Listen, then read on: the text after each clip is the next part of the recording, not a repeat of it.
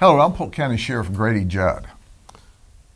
And I'm Lakeland Police Chief Ruben Garcia. We have an important message about our friend, retired Lakeland Police Deputy Chief Clarence Grier. Clarence is now 82 years old and has been missing since Wednesday afternoon, December the 11th.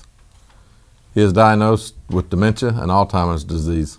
I've known Clarence for 49 years. He's a good friend of mine. During his years at the Lakeland Police Department, he was regarded as a consummate professional. He is a pioneer in Polk County.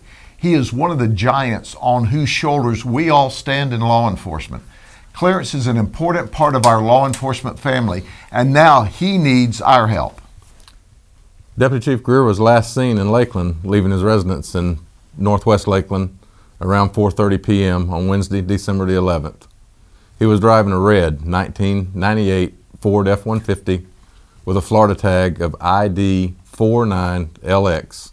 He was wearing jeans and a black jacket. He's 5'11 and 160 pounds. The last time Deputy Chief Grier's truck was seen, he was north of Ocala on Thursday morning, December the 12th, around 5:30 in the morning on the old Jacksonville Road at County Road 326. The truck was traveling northbound. We know Clarence has relatives in Sparta, Georgia, but he's not there, and we don't know where he is. Please help us find him. Law enforcement and the public have been made aware that he is missing, but our most valuable resource is the citizens. If anyone sees Deputy Chief Grier or the F 150 pickup truck, we encourage you to call local law enforcement. If you see this video on social media, please share it. And on behalf of the men and women of both our agencies, thank you for your assistance.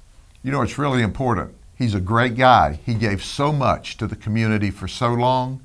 Now, we desperately need your help to find our friend.